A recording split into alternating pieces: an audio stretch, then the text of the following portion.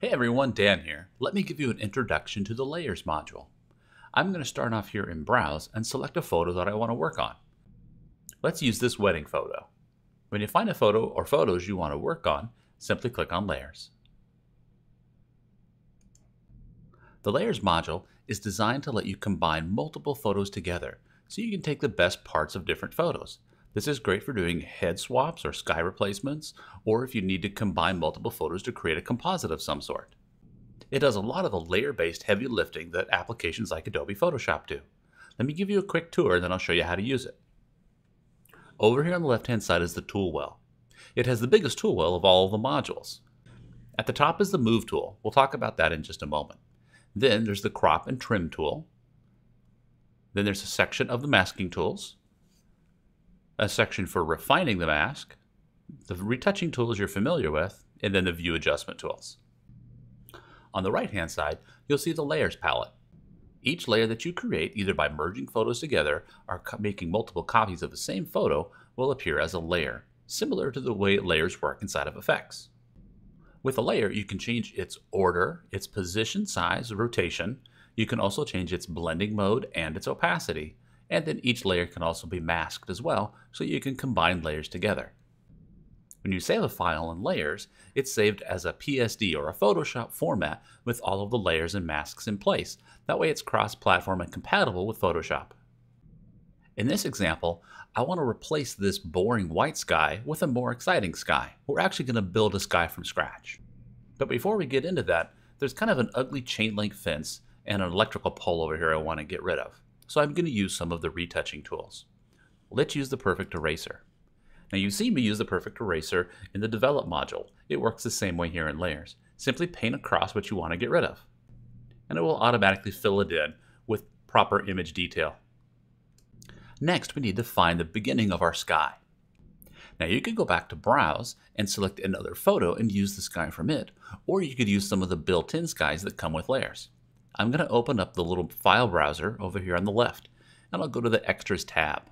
Inside of the Extras tab, there's tons of included elements that you can use to work on your photos. I'm going to go to the Skies category, and you can see how there's a ton of different skies that we include, which makes doing sky replacement easy. I want to build up a warm late afternoon sky, so I'm actually going to start with this one, and we're going to use it a couple of times. When you find one you want, simply drag it on top of your photo. You can open it as a new photo or you can add it as a layer. I'm going to use the add as a layer option. You can see in my layers palette, there's a new layer for the new file that I've added in. Let's close that browser so we have a little more room to work. The first thing I need to do is to size and position this new layer. To transform layers, you'll use the Move tool. When the Move tool is selected, you can click on a photo to drag it and reposition it. You can make it bigger or smaller using the corner handles. You can even rotate it by moving the cursor just outside of a corner and rotate it. There's also some tools in the top to make this easier. There's tools to rotate it and flip it or to have it fill the canvas size. I'm going to use the fill canvas option. This will make it automatically fit my size of the photo. Now right now it's on top of my photo. I actually want it to be below. So simply select the layer in the layers stack and drag it in the position you want. I want it below my photo. There we go, now it's hidden.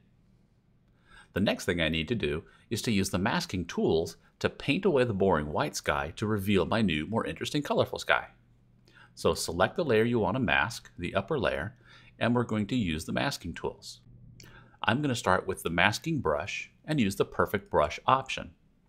The perfect brush will sample the color under the center of the brush will paint away the white, but will stop when it gets to the green of the trees. So I can simply paint through here, and it'll start to paint away that boring white sky.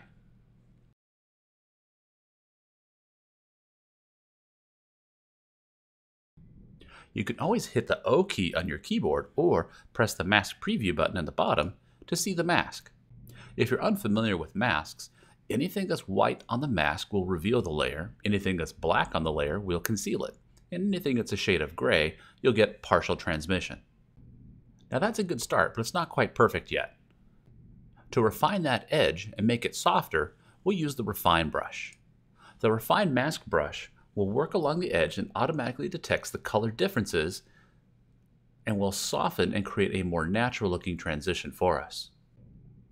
There, now if you look in the mask, you'll see how it creates a softer, more natural transition around those subtle, out of focus leaves.